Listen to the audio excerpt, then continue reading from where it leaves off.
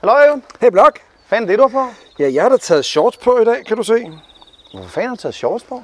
Det er fordi, det er sommer. Nej, det er det sgu ikke, Rivold. Det er 9 grader. Har fuglesynger.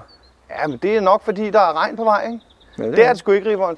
I øvrigt, så er du også alt for blege ben til at gå i shorts nu. Nå, ja, det er måske rigtigt nok. Du har faktisk en, øh, en, en lille smule grimme ben, Ja, ikke? men de skal vises. Nej, det skal de sgu ikke, Rivold. Vi har et møde lige her om 20 minutter. Det skal du sgu ikke. Du, øh, der går lige ind, så går lige ind og tager et par bukser på. Så ikke til møde med shorts. Nej, men jeg kan godt lide at lige blive luftet lidt. Det øh, er meget muligt, men altså enten så øh, tager man til møde, eller også så går man rundt i shorts derhjemme. Så der kan du selv lige vælge. Ikke? Jeg tænker, vi ses her om 5 minutter. Skal vi sige det? Okay. Skide godt, Riv.